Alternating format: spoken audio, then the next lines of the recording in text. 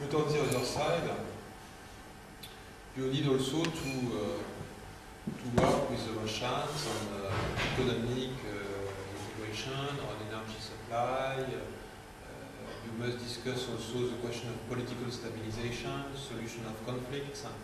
You need to discuss about cooperation of Russia to, to, to for example, to, to stop proliferation in Iran or, or, to, to help, uh, uh, you know, uh, the operation of, of the Americans, of the Europeans in, in Afghanistan. So you have to, to strike a balance in that.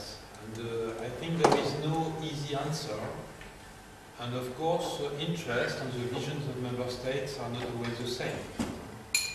But uh, I remember discussions with the Russians in Brussels where they don't like this concept of common values, but they accept, for example, the reference to international instruments on human rights or United Nations char Charter or Council of Europe, etc. They are not always implementing it, but we need to discuss with them on these issues.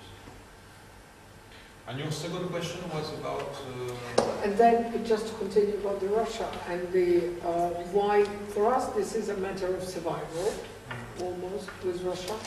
And uh, what is your, with your looking from France, looking from European Union, and what is your your recommendation or advice or just a comment or whatever, in whatever format, the, uh, like, forget about European Union, become, one of the part of Russia, do what you are doing, what, you know, whatever, and is this uh, looking into European values and, and uh, principles and rules of international affairs and international international interaction or international cooperation, does it make any sense for us? Do we have to insist on that? I had very, very good support in the Ministry of Foreign Affairs of this, uh, because we did a book on uh, new foreign policy. Uh, Ukraine has a plan, sort of the study and the, and the publication, and the and then loved, he loved it. He said this is something that needs to be really further developed somehow. This what does Ukraine stand on with uh, when we talk to Russia, and this seems uh, useful for could be useful for you, and it is that and it could be saving for us. Maybe I don't know. What is your just quick, quick, quick glance at this? To, to, to sum up, to sum up very simply, Uh,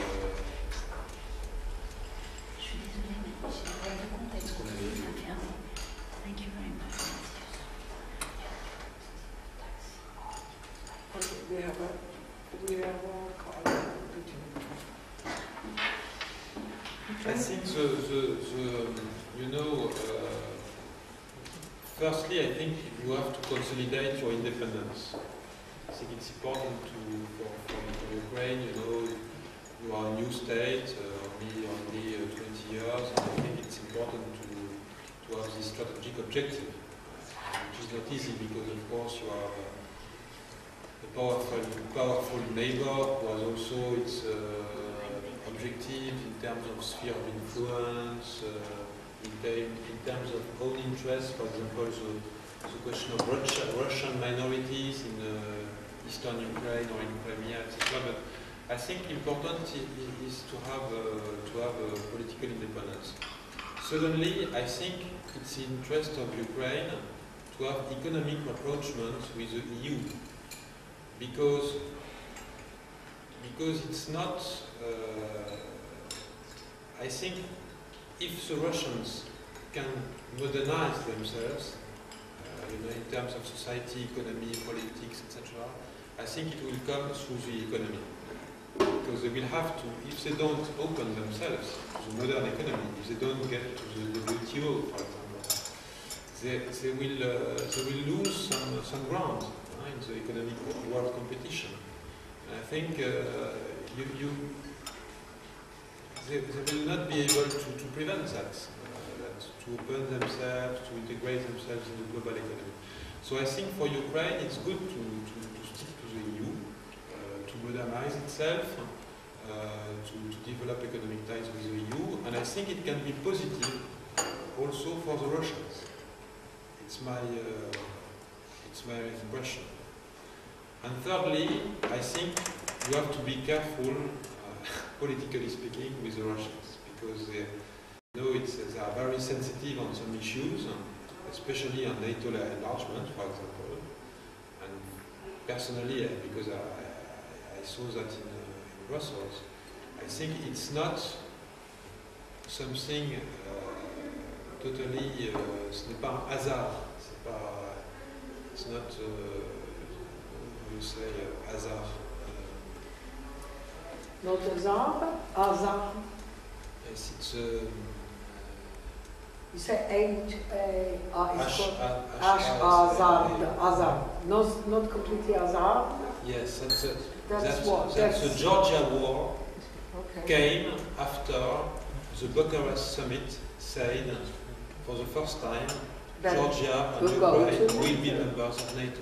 Exactly. We have Something- two two two I think for the Russians, it probably it crossed uh, a red line. Uh, so I don't know. Uh, red line was probably also the Kosovo. Uh, Putin said, uh, if you do uh, recognize Kosovo, it will be a precedent for solving other regional conflicts in the USSR, former USSR.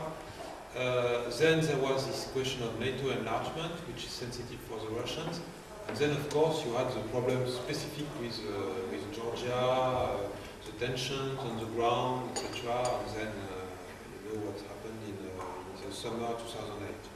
But I think it's difficult for a country like Ukraine, but it's not impossible. I think what I saw uh, Brussels is that the, the Russians don't see the EU in the same, uh, with the same eyes as NATO.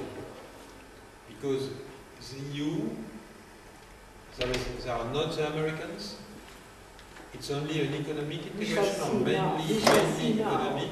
They are ready to, uh, they are ready to, uh, to you know, to, uh, for example, to develop some crisis management tool with the EU. Uh, they did it in Chad. Chad participated military, very small military contribution, but it was sim- a symbol that uh, uh, Russia is able to uh, act with, uh, with uh, the EU to, to solve the crisis. So Russia works with NATO very closely. yes, but It is not. These are two different things. One thing is what is allowed for Russia, mhm. and what they do not allow for the countries of the former Soviet Union. This is what they were the, the absolute difference is. So what they, they I am, we will see it very soon. We will see it this year because the uh, European Union is soft, sort of, compared to hard Mhm. threat of NATO, but until we start, because this year association and FTA, and uh, usually before every two big, sort of serious NATO summits, we had big, big, big scandal of Berchua, then other, and then psh, Ukraine just bursted. The other was what was the other one? Was uh, before the previous was in Praga summit, and then there was another one. Ukraine was supposed to be given this. Uh, Membership action plan. Riga summit. uh, what Riga summit. was Riga summit once, and then Praga summit, and every time it went uh, there something very horrible happened, and the ah then we had Melnichenko scandal and. Uh, uh, you know, and Gongadze scandal and everything, and then everybody thinks, well, Russia, Ukraine is sort of oh, horrible things happen in Ukraine. So we don't, we shall see what what will start happening in Ukraine before the end of the year, of course. But um, the thing is, what do we do anyway?